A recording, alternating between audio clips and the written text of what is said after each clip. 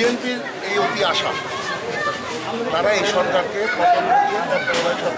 সরকার এই অতি আশা হবে বলে আমি মনে করি না, কারণ জনগণ তাদের সাথে নেই।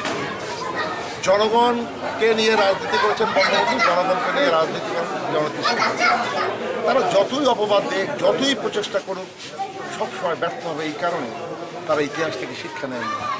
তারা জনগণকে পুড়িয়ে চিটিয়ে কুপিয়ে হত্যা করে সেই জনগণকে সমর্থন নিয়ে এই সরকারের বিরুদ্ধে আন্দোলন করবে, সেই ক্ষমতা তাদের নেই কারণ জনগণ তাদেরকে বিশ্বাস করে। জনগণ তাদের ভয় পায় আর তাদের ইতিহাস হলো এই, সমস্ত খুলির দলকে নিয়েই কিন্তু তারা এই দল।